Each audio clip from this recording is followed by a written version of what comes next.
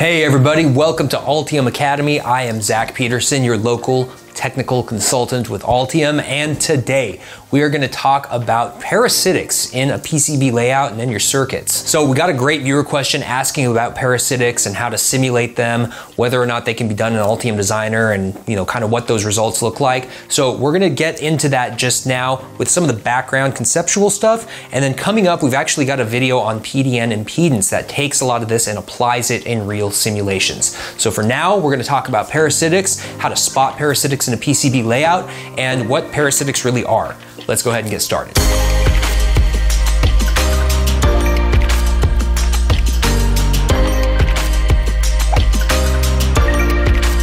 To get started, what are parasitics? There is a really simple answer, and that is parasitics are any unintentional uh, uh, resistance, capacitance, or inductance that might exist in a physical layout for an electrical system or for an electronic system. What do I mean by unintentional capacitance or inductance? Well, if you think about it, even like a trace on your PCB has some capacitance and inductance, and really that trace capacitance and inductance is unintentional, meaning you didn't necessarily design it to be that way. It is a parasitic, meaning you didn't place like a discrete capacitor or a discrete inductor in order to give it those circuit qualities. That is what a parasitic is. It is something that exists in a physical layout that you didn't necessarily intend to be there.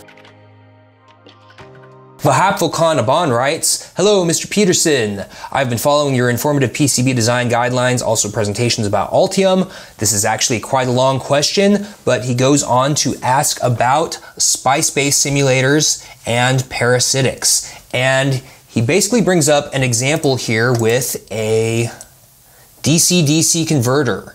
And he brings up non-ideal parasitics. And he brings up the important point that there's always going to be some non-ideal parasitics in the circuit, even if you try your best to eliminate them. So the question here is, can you simulate this on the board and what is that actually going to look like in a real circuit. Okay, so there's a number of ways to deal with parasitics. To really simulate parasitics at any frequency range and in any of the ways that they might arise, you actually need a 3D field solver. So most EDA tools do not have a 3D field solver built into them that will give you a really nice clear picture of how parasitics affect a PCB layout. Generally, you have to interface with a third party tool to get that kind of information. Now, that being said, there is some work that you can do in 2D, and Altium Designer does include a 2D field solver that does some work with parasitics and allows you to get some results in simulations. Same thing goes with the other major EDA vendors. They all have their own versions of these kinds of tools that will give you some results. Now, the other thing that you can do is you can actually get a lot of insight if you know which, uh, which parasitics to include in a SPICE simulation. So what we're going to go over in this video is to look at some ways and uh, some common areas where parasitics arise and the ways that you would actually include those in a SPICE simulation before you do the PCB layout. So the workflow here is know the parasitics first, include them in any front-end engineering simulations that you might need to do, and then later, once you actually lay out the board to match those conditions, export your board into a more powerful field solver, and then you can get some more insight into how parasitics actually affect your PCB layout. Okay, so there's a few interesting places that parasitics will arise that you can actually use in a simulation, specifically in a SPICE simulation, to get some insight about your board. One of the common parasitics that you actually care about in something like moderate to high speed design is capacitance. So whenever you have a, let's say, your PCB layout here, this is just kind of the side view of two layers, and I've got my plane layer up here, and I've got a plane layer down here. These two things basically form a big capacitor. And, you know, we basically draw that something kind of like this. And that occurs because we have some dielectric here that fills in the space between these two plates. So let's say that this is brought up to a voltage of V, this is brought to ground, and we have a potential between them. We have some dielectric constant here, dk, And so because of that, there will be some capacitance between these two planes. So plane capacitance is kind of the standard one that we care about if you're doing any kind of high-speed design. Generally, when you are uh, doing any kind of simulation involving high-speed design, or when you're maybe uh, trying to figure out the impedance of your power delivery network, uh, basically you would have a power net and you would have a whole bunch of decaps here. And then in parallel with that, you basically have your plane capacitance. So you can include the plane capacitance in a SPICE simulation by literally just placing a capacitor component here.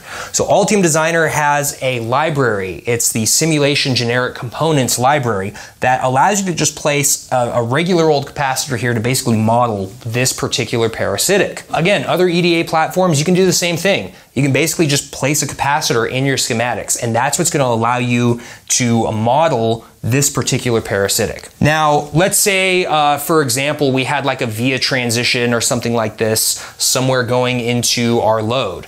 Uh, a via transition, if you know the structure of a via, you know that it's essentially a big cylinder of conductor. So we would model that as an inductance. It looks like an inductor and it kind of acts like an inductor. And it also has some DC resistance, so we would put some DC resistance in series with it. And so together, even though a via is just copper and it is conductive, it actually does have some parasitics. Okay, so this is how we would basically model our via. These are just really simple ways that you can think about this. Let's say that, you know, up here, and we've talked about this in other contexts as well, but let's say up here on the top layer, you know, I've got uh, some copper here, and then maybe I've got like a trace over here. So maybe this is like copper pour, and then this is a trace. Well, how does this and this have a parasitic? Well, we basically have here two pieces of copper. They might be brought up to different potentials, and there's some dielectric between them. So there's some dk up here in between these two conductors. And so that creates also some capacitance. So that capacitance also then modifies the circuit behavior of this particular trace. So if you're familiar with like transmission line models for trace impedance, then essentially adding in this particular capacitance increases the total capacitance of the trace. And so this would bring down the impedance of that trace. In like a SPICE simulation, you would basically stick a capacitance in parallel with your uh, with your block that represents your uh, your transmission line. Pretty simple way to think about this. And in general, we only care about uh, we only care about capacitances when they arise in parallel, and that's exactly where we put them in these types of simulations. Similarly, with parasitic inductances, we only care about them because they arise in series, kind of like this. So like with this via, it's perfect example. We want this to be a perfect conductor. We want it to act like just a regular wire. The problem is it doesn't. It has some finite DC conductivity, and then also its structure gives it some inductance. So next, I want to look a little more at an example that was brought up in the question. And the question brought up a specific example of like a DC-DC converter. When we have a DC-DC converter, we basically have uh, some input voltage and there may be like, you know, an input capacitor here. And then we come over here to a switching element and then we have another switching element. And there's going to be some sort of driver over here that modulates these switching elements. And then up here we have our output inductor and then typically have an output capacitor. So we basically got a, a buck converter here. In this buck converter, when we lay it out in the schematic, you know, it nicely has this perfect behavior because we haven't accounted for any parasitics that exist in the real physical layout. So the PCB layout itself will have some parasitics, but also all of these components will have some parasitics. Now, component parasitics you can actually account for in a circuit diagram. So we're going to show an example of this in, in, a couple of upcoming videos on PDN impedance and how to actually do those simulations where we include all of the conduct or all of the uh, component parasitics. So for a capacitor, you know, we've talked about this before in our uh, capacitor self-resonance video. There's a parasitic uh, resistance here, and then there's a parasitic inductance here. So this resistance, uh, this is your uh, ESR or equivalent series resistance, and then this is your ESL or equivalent series inductance. And then you have a nominal capacitance. Some models will actually also include a parallel resistance to represent leakage. Um, typically for you know higher frequency simulations, we basically just leave that out. So if you're doing like power electronics, where maybe this is used for uh, this is used like as a safety capacitor or something, you might include that just to represent leakage current. But you don't have to do that. These leads may also have some inductance and then also some resistance. So you've got an L and an R here. Um, here, the modeling of the inductor, it actually has some parasitics. So there's in the coil, you actually have winding capacitance. So there's winding capacitance in the coil. And then the coil has some finite DC resistance that you can account for as well. Okay?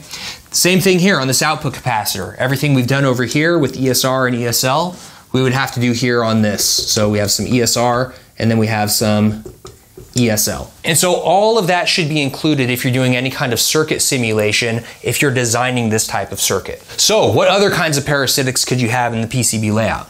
Well, all of these wires that you're using to connect everything basically have a little bit of inductance and a little bit of resistance. So these aren't the best inductor and resistor symbols, but you kind of get the idea. And then same thing over here. We would have a little bit of inductance and then a little bit of resistance.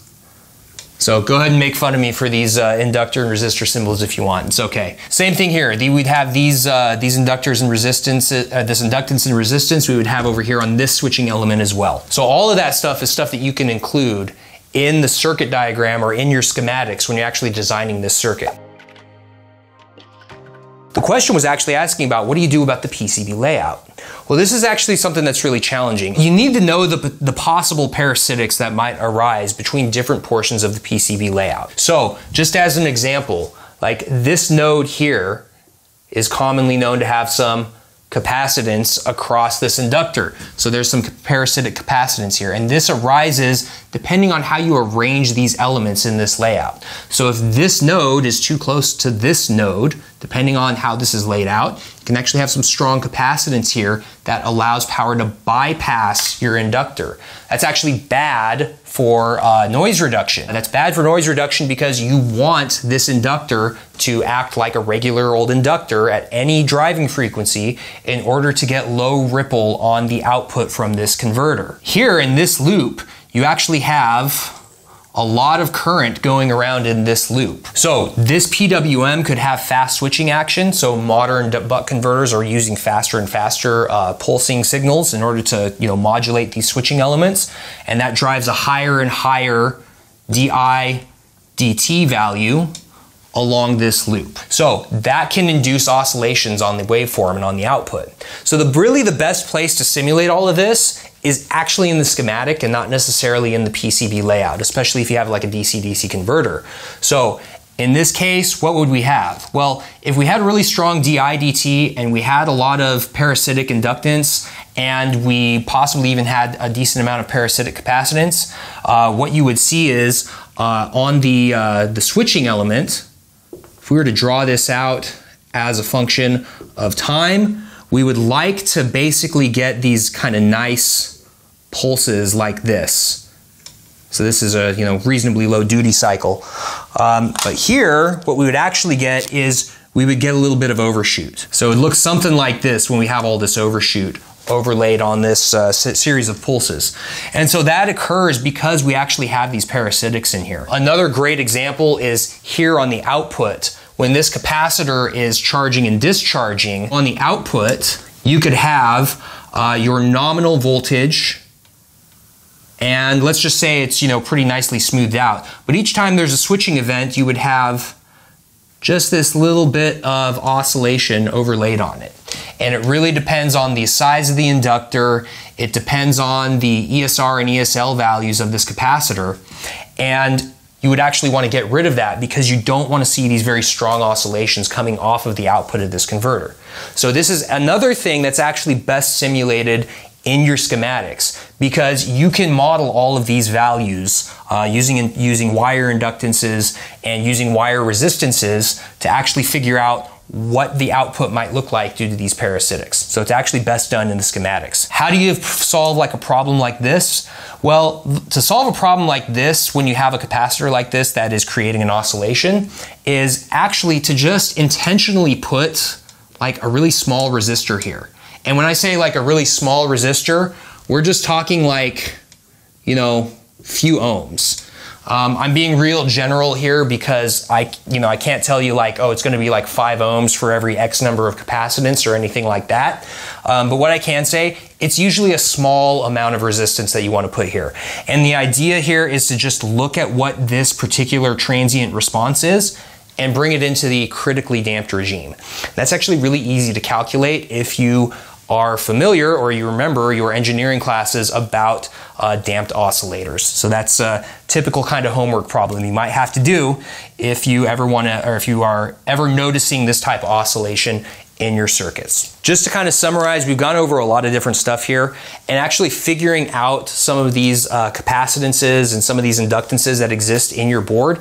Well, a lot of them exist in the components. Some of this stuff you can actually find online with little calculators and you can get a decent estimate of what's going to happen in this in this particular circuit while it's operating. Then to solve some of these problems, well, you just really need to do some simulations in SPICE. SPICE is going to be a really nice and easy way to figure out if you're going to have any of these problems with real component models, and then how to actually solve them. One thing that you can do is if you have a board level capacitance or a board level inductance, let's say, that is going to cause a problem in this circuit, like maybe this guy, or maybe you don't know what the winding capacitance of this uh, uh, of this coil is going to be. So, you know, maybe the winding capacitance is with a SPICE simulator, you can actually iterate through different values of these parasitics and then check to see maybe what level of damping you need to dampen this type of oscillation, whatever the case may be. So play around with your SPICE simulator and just accept that you're kind of doing some modeling and you need to just, you know, experiment with it in order to figure out what the best set of parameters is going to be in order to get to a perfect design. Then after you do that and you finish your layout and you have the resources or you have an application to do it, then you can put your board into a more powerful field solver, and that's actually gonna give you a lot more information. Coming up in another video, we have our PDN impedance simulation stuff that we're gonna be doing, um, but I think what I'll also do is I'll do something on the crosstalk and reflection waveform stuff because those do, do relate to parasitics, and that'll be another great way to discuss what actually happens in the PCB layout versus what you need to do in the schematics. All right, everybody, so thanks for sitting through all this because I know there's a lot of information, but being able to spot where parasitics might exist in your PCB layout is actually really important. And don't forget, when you're looking at component data sheets, if it's a well-documented component, they will actually tell you if there are parasitics in that particular component. Stuff like winding capacitance is well known, it's measured, uh, inductor manufacturers generally provide it. Uh, ESL and ESR values, even if they don't give you the specific values, they may give you a curve that shows the impedance. You can figure out what those values are. All right, everybody, so Thanks again for watching. If you like this video, hit that like button, hit the subscribe button, leave your questions and comments in the comments section, and definitely don't forget to call your fabricator, folks.